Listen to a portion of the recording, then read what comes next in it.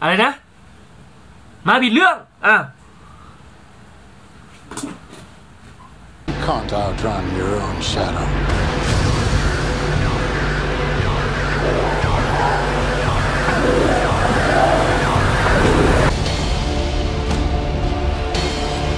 ขอขอบคุณผู้สนับสนุนที่โดเนทมาเป็นกำลังใจในการทำคลิปด้วยเลยกันนะครับ วันนี้มีคุณภาวรัตน์ปล่าสกุล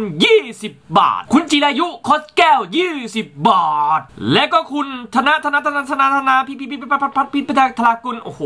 ชื่ออ่านยากเหลือเกิน 30 บาทครับผม ขอบคุณทั้ง 3 ท่านด้วยนะฮะที่เป็นสปอนเซอร์ใจดีเข้ามาในช่องนะฮะใครสนใจเนี่ยจะโดเนทกันได้รายละเอียดมีใต้คลิปเลยฮะสวัสดีครับเพื่อนๆสวัสดีชาวคอหนังทุกคนนะครับและนี่คือการรีวิวหนังเรื่อง The Girl in the Spider Web พยักสาวล่ารหัสใหญ่มรณะเป็นการกลับมาอีกครั้งครับผมของแม่สาวแฮกเกอร์ลิซาเบธซาลันเดอร์ผู้มาพร้อมกับรอยสักมังกรอันสลวยสวยเก๋นะครับ ภาคต่อเนี่ย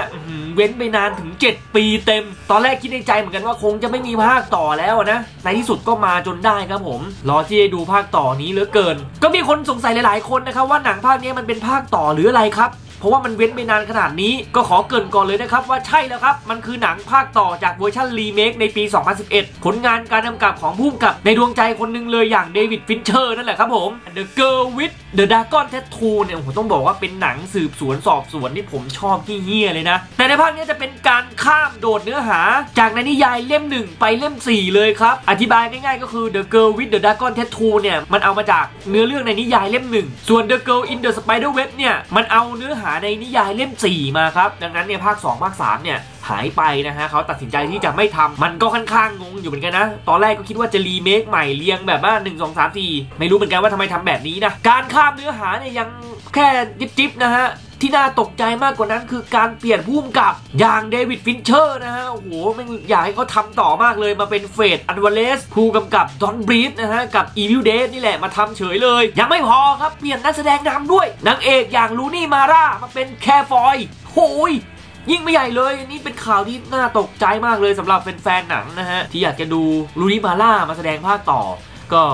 เคยอ่านข่าวอยู่เหมือนกันนะฮะเขางอนน้อยใจเลยนะ ว่าทำไมถึงไม่ชวนเขาเล่นภาคต่ออะไรอย่างนี้นะครับไม่รู้ว่า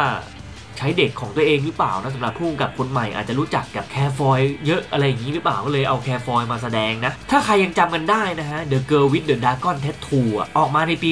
2012 ปีนั้นเนี่ยออสการ์เนี่ยเข้าชิงหลายรางวัลเลยนะฮะสำหรับหนังเรื่องนี้บ่งบอกได้ว่าดีขนาดไหนอะเชื่อเลยนะว่านี่น่าจะเป็นส่วนหนึ่งที่ทำให้กระแสออกมาในทาง แป๊กๆหน่อยๆนะในหนังภาคนี้ดูจาก Rotten Tomatoes หรืออะไรต่างๆคำวิจารณ์ไม่ค่อยจะดีนัก ก็ลองไปดูกันก่อนแล้วกันนะว่าจะเป็นยังไงเด้อมาที่ในเรื่องย่อในหนังภาคนี้นะครับซาลันเดอร์จะกลับมาสานต่อภารกิจไล่ล่าพวกผู้ชายที่ชอบข่มเหงผู้หญิงอีกครั้ง และในภาคนี้เธอยังต้องเข้าไปพัวพันเรื่องราวทุจริตของทางรัฐบาลของเขาเองอีก เธอจึงต้องสู้และเอาตัวรอดให้ได้ โดยใช้ไหวพริบและเครื่องมือทางเทคโนโลยีที่เธอถนัดนะฮะนั่นคือการแฮกเกอร์นั่นเอง โดยมีนักข่าวอย่างมิคาเอลบลอมควิสต์เป็นคนคอยให้คำปรึกษาและช่วยเหลือเสมอครับเรื่องราวจะเป็นยังไง เธอจะสามารถหยุดความดุร้ายของรัฐบาลของเธอได้ไหม และพี่ของเขาเนี่ยคืออะไรนะฮะ จากตัวอย่างเนี่ยต้องไปติดตามมันเองนะครับ กับ The Girl in the Spider's Web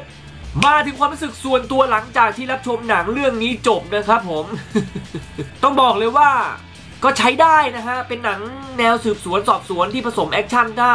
ไม่ได้เอาไปนำไปเปรียบเทียบกับภาคเก่าอะไรอย่างเงี้ยที่แบบโคตรดีและมีมาตรฐานสูง ก็ถือว่าดูโอเคครับ สนุกเพลินๆนะฮะ ถือว่าใช้ได้ในระดับหนึ่งครับ แต่ถ้าคุณเป็นคอหนังของเดวิดฟินเชอร์และยังคงติดใจในการกำกับของหนังภาคแรกเนี่ย ถ้าคาดหวังไว้กับหนังภาคเนี้ยเยอะว่าจะดีเหมือนภาคแรกเนี่ย คุณจะต้องรู้สึก fail นิดๆอย่างแน่นอนครับ เพราะองค์ประกอบอะไรหลาย ๆ อย่างเนี่ย บอกเลยว่าสู้ ภาคแรกไม่ได้ครับ ผม เฮ้ยผมยังติดใน ฝีมือการกำกับของเดวิดฟินเชอร์แล้วกันนะฮะ เพราะผมก็ชอบภาคแรกมากๆนะ ดังนั้นเนี่ยเวลาดูไปเนี่ยมันก็จะเฮ้ย อะไรอย่างนู้นอย่างเงี้ยมีข้อมาเปรียบเทียบนะขอพูดในส่วนเนื้อหาตัวเรื่องกันก่อนละกันนะฮะอย่างที่รู้กันว่านี่คือหนังแนวสืบสวนสอบสวน ผมมองว่าหนังภาคนี้นะครับเนื้อเรื่องเนี่ยค่อนข้างจะดูมีปมปริศนาและอะไรต่างๆ ที่ง่ายกว่าภาคแรกเยอะมาก ไม่รู้ว่าเกี่ยวกับเนื้อหาในต้นฉบับหนังสือหรือเปล่านะครับเพราะว่าภาค 1 2 3เนี่ยเป็นคนเขียนอีกคนนึงนะฮะซึ่งภาคแรกแล้วในเรื่องส่วนใหญ่จะเน้นใช้บรรยากาศความเหน็บหนาวในเรื่องที่มันเป็นช่วงหน้าหนาวนะฮะทำให้เรื่องราวเนี่ยอาจเล่าเรื่องแบบเฉยๆคนอย่างคนเขียนคนเก่า แล้วคนทำหนังก็เลยเอามาตีความในหนังเรื่องนี้ได้แบบ ดูแล้วจะไม่ค่อยมีอะไรมากมายนักหรือเปล่านะฮะอันนี้ไม่รู้เหมือนกันนะ ผมก็ไม่เคยอ่านนะพูดในแบบเดาๆอะนะ ไม่พีคเท่ากับ The Girl with the Dragon Tattoo ครับในเรื่องของในภาคนี้ไม่ค่อยสนุกเท่าก็เลยอาจจะแบบดรอปๆลงมานะสำหรับตัวเรื่อง การเดินเรื่องในหนังภาคนี้นะฮะก็ต้องบอกว่าตลาดมากขึ้นนะ คือในภาคแรกเนี่ยจะมีฉากบทสนทนาพูดคุยรายละเอียดอะไรกันเยอะแยะมาก แต่ในหนังเรื่องนี้จะไม่ค่อยมีแบบนั้นละบทพูดน้อยลงนะฮะจะมาเน้นกับบรรยากาศ ความเงียบแล้วก็แบบฉากเอื่อยๆเนือยๆซะมากกว่าเพราะว่าในเรื่องเนี่ยอยู่ในช่วงเวลาหน้าหนาวด้วยนะฮะ มันก็ไม่ค่อยมีอะไรมากนักนะฮะ แต่อันนี้รู้เลยว่าเขากลัวคนจะเบื่อครับ ก็เลยใส่ฉากแอคชั่นมาให้เราแบบได้ลุ้นเรื่อยๆ อยู่เหมือนกันนะ กระตุ้นให้คนแบบเฮ้ยอย่าเพิ่งเบื่อนะ อะไรอย่างเงี้ยก็ใส่แอคชั่นมาอย่างเงี้ย พอกลับไปเหนื่อยก็มีแอคชั่นมาอย่างเงี้ยอะไรเงี้ยสลับกันไปทำให้ดูได้เรื่อยๆเพลินๆนะฮะอารมณ์เหมือนดูเจมบอลอะไรอย่างเงี้ยนะแต่เนี้ยมันเป็นเวอร์ชั่นผู้หญิง แต่ได้ผมมองนะภาคเนี้ยแอคชั่นเยอะขึ้น แต่การเดินเรื่องอะไรต่างๆเนี่ยภาคแรกเนี่ยไม่ได้มีฉากแอคชั่นอะไรมากมายเนี่ยแต่ความน่าสนใจทำไมมันเหมือนดีกว่าหนัง ภาคนี้เยอะว่ะ อันนี้เป็นความรู้สึกว่าที่ยังจำได้นะครับปมเรื่องอะไรต่างๆปริศนาเนี่ยมันเข้มข้นกว่ามันน่าติดตามกว่า ไม่ต้องมีฉากแอคชั่นอะไรมากอะแต่เรื่องนี้มันแอคชั่นเยอะชิบหาย กลายเป็นเหมือนหนังตลาดเรื่องหนึ่งเลยครับ แต่ก็อย่างว่านะฮะ ถ้าจะมองหาความดีก็ต้องฉากแอคชั่นนี่แหละ จะไปมองอะไรอย่างอื่นได้นะฮะ เพราะว่าฉากแอคชั่นในหนังเรื่องเนี้ย เอาใจคอหนังแอคชั่นอยู่นะฮะไม่ว่าจะเป็นฉากสู้ด้วยมือเปล่า ฉากยงฉากยิง มันดิบดีฮะแล้วก็ลุ้นดีมันสมจริงด้วยไม่ได้เวอร์เวิร์นอะไรมากเกินไปนางเอกนี่ก็เป็นผู้หญิงตัวเล็กๆ คนนึงนะฮะไม่ได้เก่งกาจอะไรแบบเฟี้ยวฟ้าวในเรื่องนี้นางเอกโดนซ้อมแล้วซ้อมอีกคือน่าสงสารนะครับก็ถือว่าเป็นอะไรที่ทำให้หนังเรื่องนี้ไม่น่าเบื่อครับฉากแอคชั่นนี่แหละ และที่เด่นอีกอย่างนะฮะที่สังเกตได้เลยจากการดูหนังเรื่องนี้ระหว่างดูไปเนี่ยก็คือการลำดับภาพอันนี้ขอชื่นชมว่าชอบ ยอดเยี่ยมเลยนะเขาขั้นยอดเยี่ยมเลย จะเห็นได้ว่าแต่ละซีนเนี่ยโอ้โหมีมุมถ่ายหลายมุมมองมากอะ่ะ แสดงว่าเขามีกล้องหลายตัวสัดๆอะ่ะ แล้วเอามาตัดใส่กันเนี่ยดูไม่ขัดตาเลยนะฮะไหลลื่นจริงๆนะฮะถ่ายสวยมาก ส่วนที่ไม่พูดไม่ได้เลยนี่ก็ต้องเป็นนักแสดงแน่นอนครับผม เป็นจุดที่ผมบอกเลยว่าเป็นข้อด้อยกว่าหนังภาคแรกอย่างชัดเจนครับจริง ๆ แล้วก่อนฉายเนี่ยยังคิดอยู่ในใจนะว่าแคร์ฟอยเนี่ยจะเอาอยู่ไหมพอดูจากตัวอย่างอะไรต่างๆเนี่ยมันก็เท่ไปอีกแบบนึงดีนะแต่พอมาได้ดูหนังเต็มๆแล้วเนี่ยตัดสินใจได้แล้วนะฮะว่าเธอเนี่ยสู้ Rooney Mara ไม่ได้ด้วยประการทั้งปวงนะฮะไม่นับเวอร์ชั่นต้นฉบับอย่าง Noomi Rapace นะที่แสดงไว้ได้ดีทั้งสามภาค ผมว่าคือแทบไม่ได้จะมีอะไรน่าจดจำเลยนะฮะกับการแสดงของเธอในหนังภาคนี้นะนอกจากทรงผมที่ดูเป็นเอกลักษณ์กว่าภาคแรก แล้วอย่างอื่นเนี่ยไม่มีบทอะไรที่น่าจดจำเลยบทไม่ส่งนะ ในเวอร์ชั่นของ David Fincher เนี่ย โอ้โห ทุกๆ อย่างที่ Rooney Mara แสดงเนี่ย มันค่อนข้างแบบว่ามีฉากมีซีนอะไรที่น่าจดจำไม่ได้มีแต่แบบฉากโป๊ฉากเปลือยนะ หลายๆ อย่างเนี่ย มันบ่งบอกถึงคุณภาพของ Rooney เขาอะแต่ Claire Foy เนี่ยไม่ได้โชว์อะไรแบบนั้นเลยนี่สิครับทำให้ ผมบอกเลยว่าบทนักสืบของ Salander เนี่ยมันต้อง Rooney Mara นะเสียดายที่เธอไม่ได้แสดงต่อเนี่ยดิแล้วยิ่ง Mikael Blomkvist ครับ ยิ่งไม่มีเสน่ห์ดึงดูดอะไรเลยครับอุ๊ย